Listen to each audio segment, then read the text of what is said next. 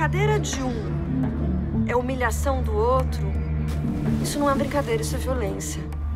Eles não podem colocar o aluno recém-ingresso na universidade numa situação de humilhação.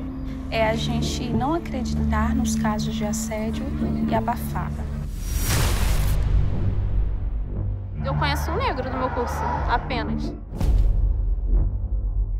E professor negro nunca vi.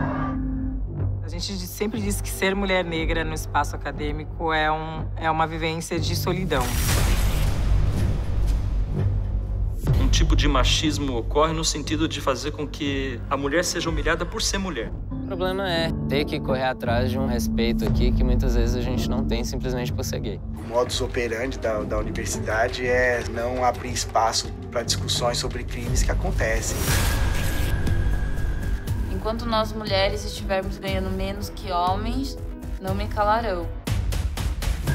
Eu via contradições nas coisas, mas eu participava dessas instituições e falava assim, um dia eu vou mudar isso, claro. Um dia eu vou fazer diferente. Eu sou uma mulher negra. Para mim, a nomeação é importante na quebra do, do silêncio, na quebra do, da, da violência.